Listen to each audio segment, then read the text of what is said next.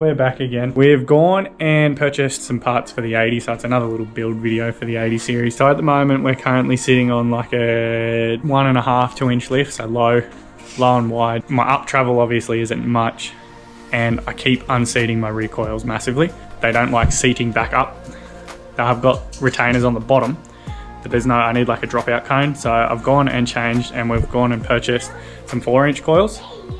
We've got some four inch coils. We went new lower control arms, upper control arms, tie rods, panhards. We've, we've got all the rods. The whole purpose of this video is I'll show how I'm putting them in. My thought process is I'm just gonna drive up my flex ramp, let my coil unseat, drop the new coil in, come back down, do the opposite side.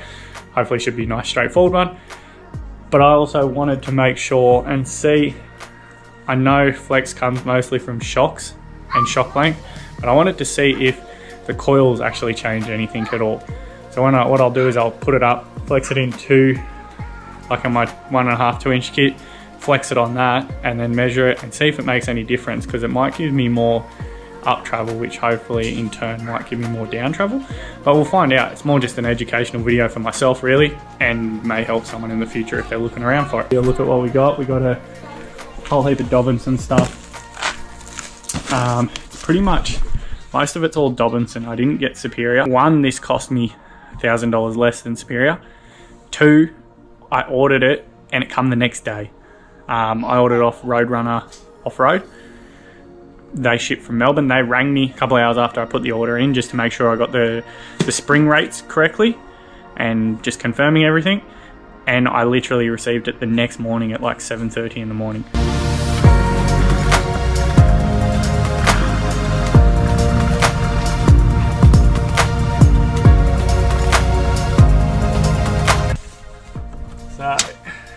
Obviously you're going to have a slight bend in your tape measure.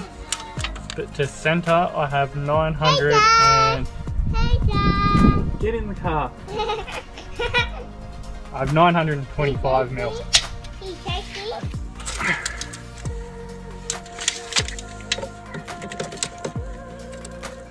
So we have 450.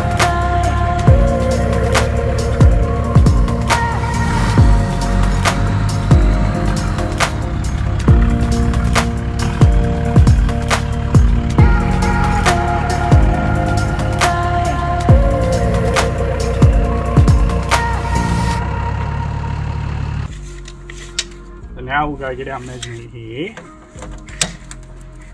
We have 8, 805 and with our tuck. We've got four, 400, say 405. So we've got 400 mil of difference in the front. Didn't go to plan as well as I'd hoped. But we got it, we got it we done the old dodgy ratchet strap trip trick ratchet straps. Strap each side so that way it compresses the spring. Don't really want to pinch my hands I won't grab the mallet. Left hand side is from what I could see online fuel tank is your left hand side of your vehicle so technically it's when you're sitting in the car you're on the right side. And then passenger side is your left side. So they come left and right coils to suit heavier weights per side of vehicle. And you can see how easy it unseats them. So up and out. This is pretty much my length difference. So from what I believe when I brought the car, these were two inch. These are now four. So yeah, that'd be pretty close to your 50 mil, which should be another two inches. To help me go get them in, I've just loosened the back bolt on my radius arm. That little bit there. On the passenger side, it's got a little divot here on the front. Driver side, the divot's on the other side.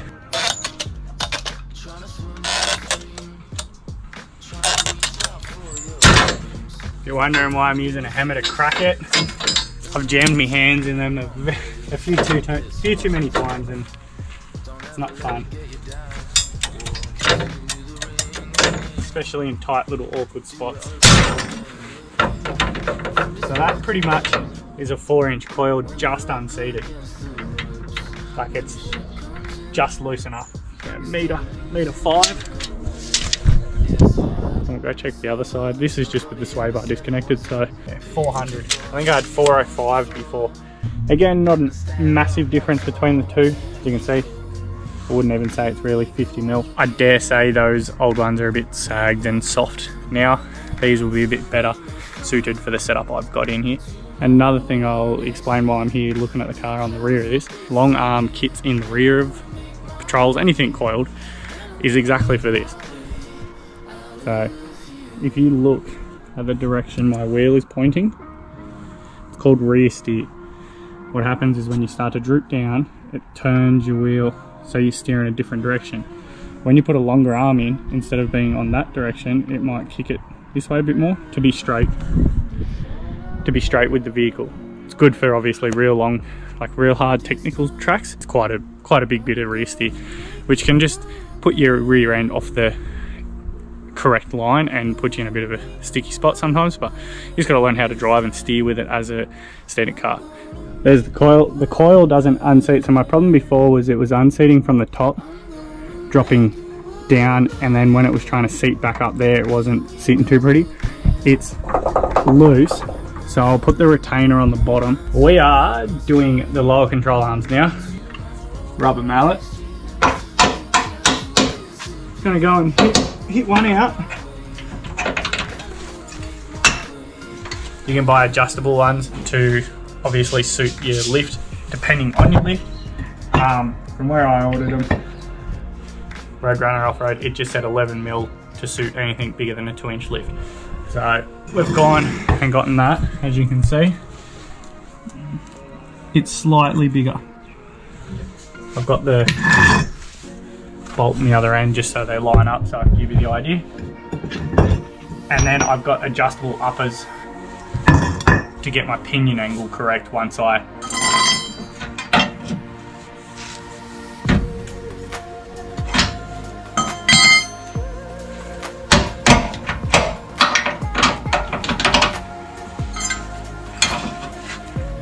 and then just pry it like this until it wants to sort of go through. Another good little thing with um, the kit that I got from Roadrunner, they send you upper control arm bolts.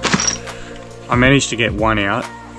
The other one you can't get out without removing the coil um, and I believe it's there's like a bracket mounted there where the handbrake runs through. You've got to dismantle all of that just to get the bolts out. So they send new bolts. So what I'm going to do is just go and cut them.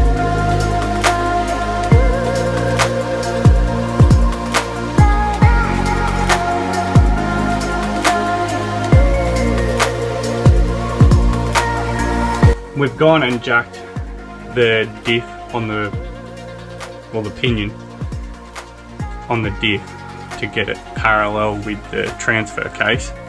I was just checking to make sure um, that the arms are actually longer. I just poked one of the old ones back in and it looks to be about that 15 mil longer, which my lower arms, my lower arms were 11 mil longer. So now I'll go spin out my new ones and put them in because then that way I can pretty much move this.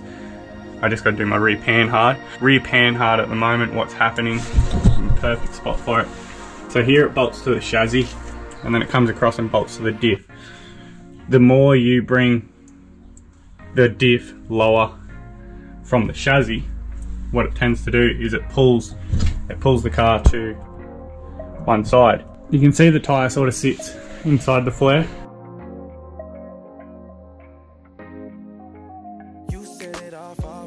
And that's why you need adjustable pan hards. I don't know how well you could see that, but it's currently pulling my tyres to the driver's side. So we're going to pull them back the other way. I'm just going to pop that out, put the adjustable one in, make it longer obviously to allow for it, and it'll pull the tyres back into where they need to be. Rear panhard is in, the adjustable one.